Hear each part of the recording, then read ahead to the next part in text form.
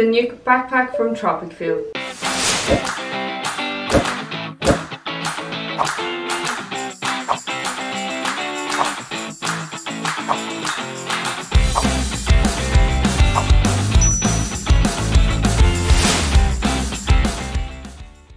Hey guys, welcome back. Today we are looking at the Nook backpack, which is their latest everyday carry-on with the daily adventures in mind. It can expand from 14 litres up to 34 litres and it does have an amazing ecosystem where you can add on accessories and build up the bag for whatever you might need it for because you have the range to have it at its lowest form or up to its biggest form at 34 litres. In this video I will go through the bag and detailing its features and then highlighting some pros and cons and then finishing the video with my final thoughts. Please do not hesitate to pop a wee question down below if there's anything that I have missed then I will try and answer it the best I can. So this bag comes in three colours, the all black, the olive green and this is the walnut sand. Let's delve into some of the accessories that this bag has. So this is their Nook pouch and it just goes on nicely on the sides here. It is a bit fiddly um, but once you get the hang of it it's absolutely fine and then it just means you know for anti-theft purposes it's not as easily swiftly taken off in comparison to their Hive backpack here where they have the fidlock system. And I have to say although this is a bit more fiddly it's definitely um, better for me personally because I do love the fact that you can swiftly take off the fidlock here and remove your pouch but whenever you don't have the pouch I don't have that accessory here then you're left with these little stumps whereas in comparison to this you have a bit more of a neater look to the bag. It does tuck in nicely and it is placed on the bag if you want it and then whenever you remove it um, you don't have those little stubs. The pack itself, um, because it is on the front, there's just a wee quick note I wanted to say. If you put your togs together and tie them like so, um, underneath this little handle, then you just add a little bit more security. So just in case someone is trying to get into that front pocket, that the zip, then you have enough time to stop them. And there is a front pocket here um, that isn't as secure as maybe the back pocket here, so put less delicate things in there. It is covered by a little bit of fabric, the flap here. Um, I have just some tissues in there, which I just find handy to turn around and grab out of the bag instead of going digging. And inside, so if you take off my highly securely anti-theft feature that I have created. Um, you have this handle where you can hang up the bag or hold it, which is great. And then you just open up the little pouch and it falls flat open so you can see everything, natural light's getting in. This material here is well padded and well structured so anything that you have in behind here reminds me of like um, a hip belt which is quite great because it's nice and secure. Um, you can fit anything in there. I had snacks and on the front here you have these elastic little bands where you can place your USB ports or anything that you can really fit in there and directly in front of it is this mesh material which is absolutely lovely you have one longer one and then a smaller one so you can fit cards or anything that you can really fit in here I was thinking about Kazi who is a type 1 diabetic where she could easily swing the bag around and get access to like um, prickers or hypo stuff which just makes it quite easily done instead of carrying another bag for those kind of supplies. Um, that was just a thought that you could probably put that stuff in there, but obviously each to their own. So that's that. I'm just going to set that there. Um, obviously I have the bag packed up. It doesn't sit up by itself, by the way. It is leaning against the wall, so bear with me. Um, on this here, you have the micro pouch and the soft lined pouch here, which I will get into first. Hopefully this bag does not fall down. Um, it has these carabiner, um, I hope I'm saying that right, like G-hook clips here that you can uh, place around the bag which is really really handy and inside this is a softer fleece material so you can place anything like your phone or sunglasses in there. My iPhone 13 fits fine in there nice and snug with the case on it. And sunglasses or anything else that you really just need quick access to then it is just clipped down um, with a little clip and that can be attached or detached. And you can even use this on other backpacks as well if they have like the external features. And then I'll just set that there and then you have this wee micro pouch which is super handy again with the same kind of locking system on the bike Um, you, oh, you can place like your keys or your AirPods in there. Just makes it quite handy again um, for anything that's just you want externally to put on the bike You have the option to do so. So that's them and then I'll just move these to the side. Then in the front of the bike, if you unclip this bad boy here, um, in the front here where it is placed handily enough is the roll up uh, toiletry bag here and that's just compressed by this little G hook again which is lovely because it has this el elastic stretch to it so no matter what you're packing up then you have a little bit more give to it and you can compress everything down. I do have this fairly packed up, a few items in here in the laminated kind of pouch which is absolutely beautiful. Then you have two mesh pockets here which I have perfume and some face pads and then you have a zipped pocket at the top and I have a razor and a few little more items in there. What is great is that you have the ability then to hang that up and also one of the one amazing features of this little bag is the fact that you can detach this little pouch and then you have a mirror on the wash bag which is absolutely a lovely touch. And the fact that you can detach that makes it super super handy and convenient for travel purposes. And then like I said this is like quite fully packed. So I have one two three four items in there the perfume bottle and the little pads. And even with it rolled up it is nicely secured in. And then that just slides into the top of the bag in there and that can be placed and it goes about halfway down. So it is easy to just pop out when you are on the go. I'll just set that over here. And then without going too much into the bag but um, because I'm going to get into that after is the packing cube which fits in the back of the bag. As you can see it is well stacked up um, I kind of wanted to just give you a little bit of a weight while it is fully packed without removing too much. And um, so give or take, with everything packed, it is about 5 kg. Maybe add on a couple more pounds for the toiletry bag. That just gives you a rough idea of how much you can really fit in here. And I have it like fully packed to the brim. Near enough the zip would not close. So in the back here, um, you you can have your packing cube if you want. Now you absolutely don't have to, but there is a space for it, which is absolutely great. And I have this 10 litre packing cube. You can absolutely expand it, but I don't think it being expanded would fit well in there.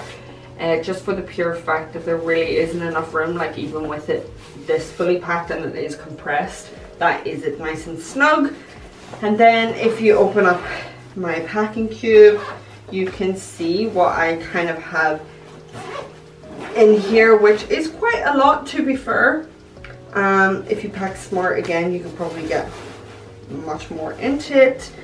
But that's quite handy to just have in terms of just hooking up and hanging it up um, whenever you're at your destination. It makes it quite easy and yeah, that is the 10 litre packing cube, which fits nicely into the bag. They actually have a section for that. And if you're not using that, then you can use it obviously for something else and make good use of it as well. Most of their accessories you can definitely use across like all their backpacks, um, such as their hive, their nest, um, you can have a wee gander on their website. They do different colours in the packing cubes. One thing I will know and is quite irritating is the fact that the apart from the front little pouch here, the rest of the stuff doesn't match the bag unless you get it in all black. Which is a bit of a downfall in terms of just it being nice looking. Um, but if that doesn't bother you then it's absolutely grand. But obviously like the wash bag, the kind of fleece pouch and the micro pouch are all in black so you can just decide whether you want to go for the all black or not. The backpack starts at around 139 pounds which is roughly around $170 depending on conversion rate and the online sales. I say that it starts at £139 and $170 because the bag itself is that price and then you have to add on the accessories um, every time so you can add a one two three and up to five. So if you do add on the five that is about 300 pounds and about 370 dollars again depending on the conversion rate. But that's just something to think about. You don't necessarily need all the accessories to enjoy this backpack. Um, if there was like two that I would recommend it would definitely be the little uh, nook pouch and the packing cube because I find them quite handy. Um, but you certainly don't need them to enjoy this as an everyday backpack. So I have reviewed the Hive backpack over on my channel that you can head over and check that out. If you think having a comparison between the Hive and the Nook is um, beneficial then I would be happy to do that as well. Just let me know in the comments. The Nook is definitely more of a casual active day-to-day -day backpack. Okay let's delve into the Nook backpack. I'm gonna run through just some of the stages of this backpack, whether it is approved for carry-on or a personal item that might be beneficial to know. But again, as I always say and always disclaim, please just check with your airlines against their dimensions because I don't know where you are in the world and I don't know your airline. At its lowest form, it is 14 liters and the weight of this, it says online, is 1.4 kg, which is 3.1 pounds. But whenever I kind of uh, weighed it myself, it was coming roughly towards 1 kg. Um, 1.4 kg is quite heavy for an everyday carry-on, I know for some people, but definitely as the lightest form in terms of the 14 litre, it is pretty lightweight. This is a carry-on and personal item approved. It is yes for both and definitely with the expansion here, it is grand two to be fitting in the seat in front of you on a flight and in the overhead locker. At 26 litre it is approved as a carry-on but probably not as a personal item. I mean again depending on your airline and what you can get away with uh, I would just take those measurements and put it against your own airlines. And at the volume of 34 litres it is not really a carry-on uh, approved or a personal item approved, I would probably beg to disagree. I feel like EasyJet, I haven't taken this on a flight yet, so I don't actually know, but EasyJet with this fully packed as a carry-on, I definitely think it'd be grand. The only thing might be your freaking kangaroo pouch, but just hide your shoes until you get on the flight. The materials of this backpack are made up of recycled 100 main polyester, very lightweight but durable, DWR treatment, APU coating, which means that the backpack itself is weatherproof and water repellent, but it might not be uh, suitable during like a real big downfall fall like over time it might um, seep through the seams. So you do have the front of the bag which is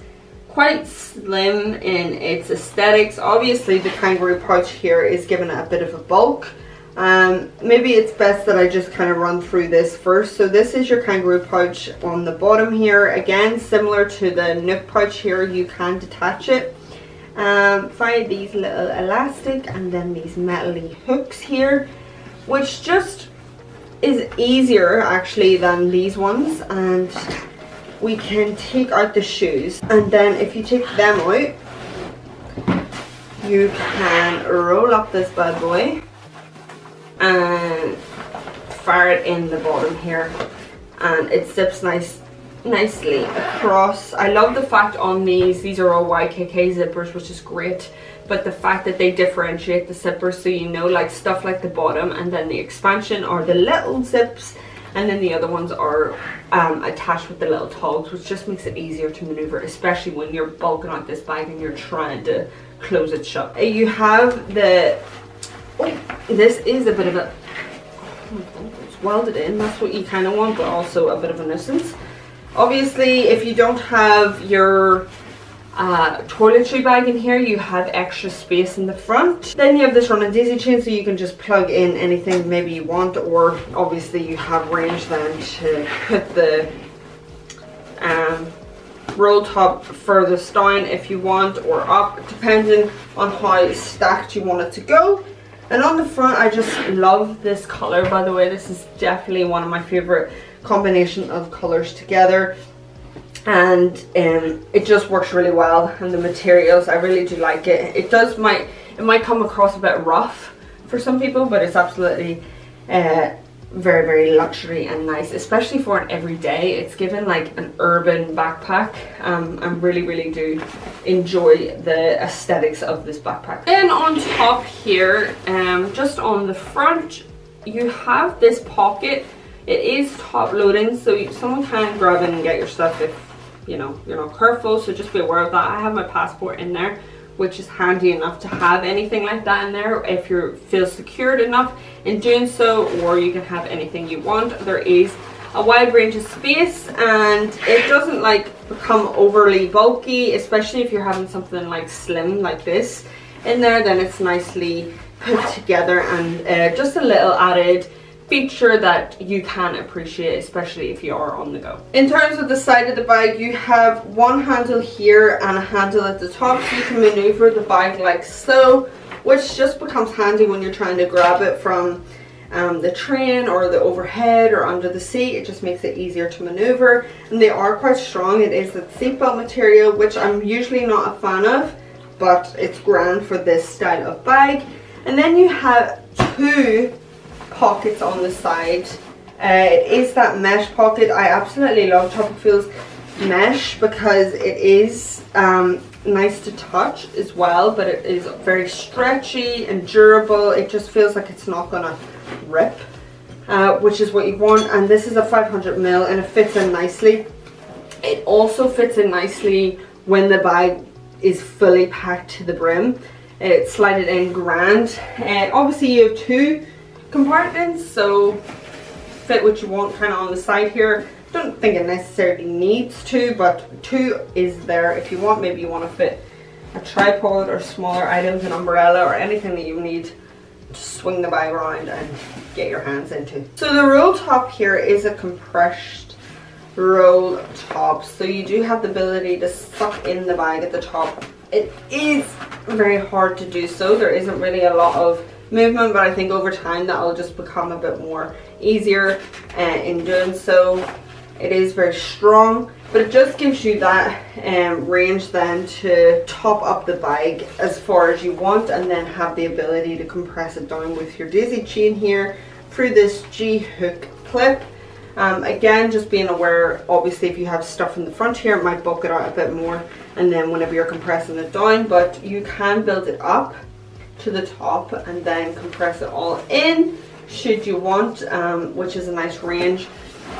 In here I just have two uh, two uh, of the Tropicfeel vest and jacket in there to have for day-to-day -day activity um, there is great depth to the bag. It has a lot of space in there. There is lots of light, especially with this color. I'd be worried with the black that you wouldn't get enough light whenever you're looking in because with this color, the walnut sand, whenever I'm looking in, I can see everything inside, which is nice and something I definitely appreciate. Inside again is that wipeable, washable kind of material. You can just wipe down the bag and inside in this main compartment here where you can pack it up nicely. There are two extra little mesh pockets at the top, which is quite handy that it's not like way down at the bottom. So you can kind of prioritize in how you're packing that up because obviously it is top loading. You can maybe prioritize anything like such as plugs or uh, wires or anything that you need quick access to at the top. So a lovely little touch. I didn't mention the expansion. Obviously it is here tucked at the bottom. Um, this is the bottom of the bag. There isn't really a lot of padding. There is here in terms of when the laptop compartment hits the bottom but just be aware that this is where your uh, expansion zip is and like I said they differentiate the zips and this expands up then, then to the I think it's the four liter expansion and on the expansion which I love is the Brandon here Beyond Travel and that just gives it that extra little wiggle room especially when you are packing up the bike so a note that that is at the bottom and it is well tucked in. So let's move on to the back of the bag. Definitely for comfort, it gets an A for me. Uh, it has these two mesh on the side which has lovely airflow going through and lovely airflow flow through here too in comparison to their Hive backpack which I'll just pick up. Whilst I love this for prompt and posture um, there wasn't really, there was airflow and it was absolutely grand in terms of comfort, but I just prefer this like softer mesh here in comparison to this and the mesh here runs onto the shoulders. There is a bit of flexibility, it's still like that rugged, but it's not as stiff as this was, so the comfort was kind of lacking on these straps, um, especially if you were wearing it on bare skin.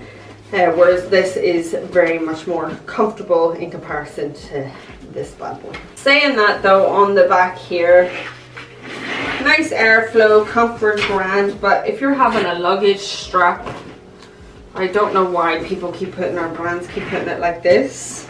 I don't really see the point.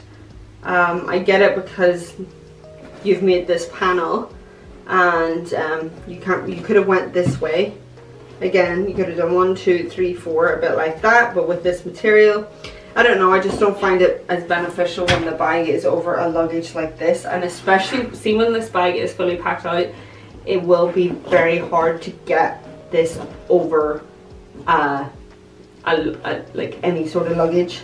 And this is really, really, really hard, which you want because your laptop's going to be in the back there. But just note, I don't understand. I don't like it. Then it runs into the straps as mentioned, which is great. And you have the range of ability to adapt the bike to your own build and height and then uh, it does have dangle stoppers here so you can limit the dangle that you have um, on each side which is grand and then on the straps here you have those external um, elastics so you can attach anything. Even if you don't attach their stuff their accessories you can probably attach some of your own too. And that's handy to have on the straps as well. And it doesn't like over complicate the bag. I don't feel too much. It's just a nice design that goes well with the straps. In terms of fit like this again I am probably a big critique of straps but these ones are absolutely grand sorry put the dangle stopper on these are absolutely grand for me um, in comparison to other straps that I have tested. This is really, really comfortable on the skin, even through lighter materials too. Um, it feels comfortable. It's not like digging into me. Um, most of the time I have a jacket on as well, so um, I'm not really going to notice that. But in terms of comfort, it is grand. But now, when the bag is fully, fully packed, that's when you start to notice um, the lack of sternum strap and the lack of hip strap, which I'll get into in a wee second. I just wanted to give you a wee example of the shoe fit in terms of this uh, kangaroo pouch at the bottom. Obviously you don't have to put shoes in here, you can absolutely put laundry, towel, whatever you can fit really, but I'm thinking for, you know, people who have size 5 feet, you can get these in grand. It is a bit of a squeeze, but there is enough elastic on the kangaroo pouch for you to play about with. Um, again, you don't have to use it and there is elastics on the bottom too that you can fit maybe even like um, your barbell pad, yoga mat or anything that you can attach. So you can keep attaching things to this bike basically. But there is a give here on the mesh and the elastic. Now this is my size, I want to say five? Yeah, five and a half UK um, size shoe and that is a bit of a that is a bit of a freaking small space basically because to fit the other one in there is a bit bulky so if you take that out what is he? This is my partner's shoe he is a US 12 USA 12 size UK 11.5 there is no way. You're gonna struggle to fit your shoe in there by all means. Um, because even if there is a little bit of give it's just to stretch out the material and eventually just cause damage to the bag. So that is just something to know in terms of a shoe fit in the kangaroo pouch. So now moving into the back of the bag here, you have where you would put your 10 litre or any packing cube for that matter, anything that you can really fit in here. The 10 litre does kind of bulk it out, especially when it's fully packed. Um, it has this G-hook here, which is a plastic kind of G-hook in comparison to maybe like the metal or metal ones that are on the bike. Um, you can place it in there and then directly in front of it, it does open like so, so it's like pretty flat. Um, sometimes that really annoys me, but I guess you can kind of stop it at each point. It just depends on your own preference really. And then the laptop compartment here, it holds up my 11 inch with a lot of space. Um, so my 11 inch comes here and there is still plenty of room and inside there's still plenty of space for it to flap about um, and that just fits nicely in there. And then it is held down by this lovely little strap. It is um, a velcro strap here. There is no like tug to it like a give to it like there is on the wash bag there which probably would have been nice just in terms of securing it a bit more but neither here nor there. Then you have this little pocket directly in front that you can fit a book in, which is nice. Then two little pen holders and then two of the stretchy mesh pockets here. Obviously just be aware when you have your packing cube in front here, it does bulk it out. So anything that you're having here is getting squished. It does close. I mean, I packed this full. So it does close eventually, but it is like gonna burst at the seams. Luckily, it's got great zips so that is a bonus, but um, just be aware of what you're packing here because when you're folding it out and whatever you have in front, it might just compress on the product that is in front. This is the bag like so, so let's just run through some pros. First pro is the fact that it kind of sits up even when it's just empty here. Um, I absolutely love the color. It really is aesthetically pleasing. I have 8000 kicks shoes that go well with this backpack. Um, obviously you can opt for the black or the olive green too. They are two other options. Maybe the black is a bit more for those more active days that you think that you could probably easily get this uh, bag dirty. Although there is a care guide over on their website on how to just wipe down this bag but maybe the black wouldn't be as visible as it would be on this here walnut sand. In comparison to their other bags, I like the fact that this is much more simpler to adapt and change, whereas the Hive backpack, it was something I had to like Google and look at their videos on Tropicfeel to figure out what the bag could do. Whereas this is a bit more simple and straightforward. I just want to go through some of the cons of this backpack. Not really cons, but just something maybe to think about whenever you are going to purchase this bag is that what I did notice is that, okay, everyday carry on, absolutely fine in terms of straps, support, um, especially when it's not overly built out or bulky. Um, even when you have the kangaroo pouch on and stuff inside the main. But when it is fully out to its bigger form, biggest form of 34 litres, you do notice um, that there is no sternum strap or hip belt because over time I was starting to feel it, uh, the heaviness of it, especially over a period of time when I was walking about with the bag I just felt like, oh god, I would love like something to just ease off the pressure a bit here, especially on the hips. And then the sternum strap to just distribute the load because it was going to be swaying about really.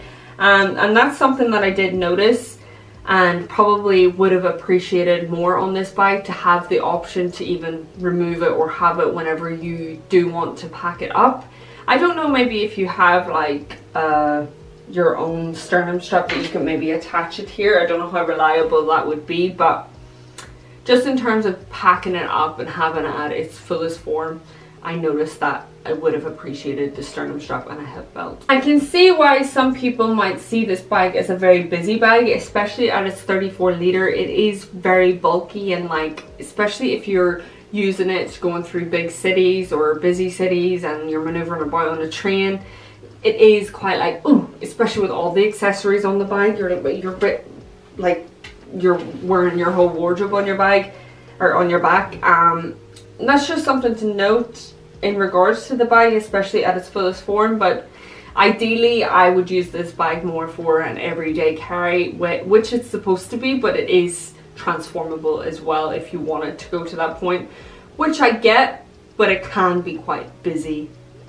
in its look and how it feels. Obviously something to know in regards to the shoe pouch as you would have seen with the shoe fit when the bag is fully packed out it doesn't stay up by itself so it is going to wobble over depending on where you are and how that affects you that may or may not so who is this backpack for if you want a light day-to-day -day backpack that you can expand and adjust for longer weekends away or for adventures then this is a great backpack. This does make for a great wee gym bag. Um, I have used it in the gym where you can place your lifting shoes if you have them or anything else at the bottom which makes it easier to you know yourself if you have lifting shoes to just get them out at the bottom and instead of going into the bag. With its lowest form of 14 litre it is great for manoeuvring about, it's comfortable, it's good for cities um, even like doing touristy things it is a great reliable backpack I don't feel like it is best suited at is 34 litre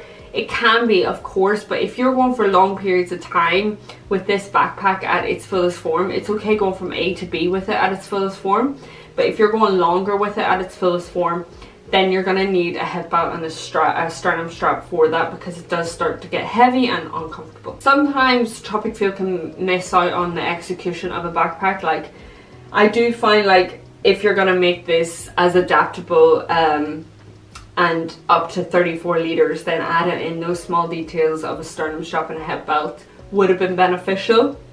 Um, like they have done in the Hive and I believe in the Nest as well um, just having those little moments and or even having like the accessories of that to attach onto the bag would have probably been a bit more beneficial. Rather than overpowering the bag with a load of accessories without the support to match it's well and good having all these accessories that you can attach to the bag but whenever the bag is at its fullest form and you're having all these accessories because someone might want it as its fullest form and have all the accessories attached then they're gonna have problems with the comfiness of the bag and getting it from A to B or even longer traveling purposes. Although saying all of this, this is definitely my style of bag and that's just my opinion, especially in its smallest form here and then using the kangaroo pouch as well. Obviously, again, you can pack it up, but I just feel out of the Nest, the Hive, and there was another one I reviewed as well, I think, um, but it's not on the channel. I reviewed it over on Dream Big Travel Far. Um, and just with this bag, I prefer the fact that there is more flexibility to it. Yes, obviously the back is um, a lot more tougher, but in terms of just having those um, flexibility moments where you can shove it in the seat in front of you or you can shove it in smaller pieces or maneuver it about in comparison to the boxier look that they have here going on in the Hive, there is less of a flexibility to this bag because it's just like if you can see in comparison this is a lot more boxier in comparison to this style of backpack this is more of a travel um holding it for longer periods of time bulking it out and having the support of the sternum strap and the hip belt whereas this is okay I can put it to the fullest form but I only, it's only going to get me to A to B. I can't be carrying it for long periods of time. If you do happen to have a wee gander on their website and you're thinking about purchasing this lovely backpack, um, then please, please use the links that are in the description. I would greatly appreciate because they are affiliate links and it does offer us a commission that absolutely goes back into this channel so that I can give you more honest, authentic reviews. Lastly, don't forget to subscribe and I will see you in the next review.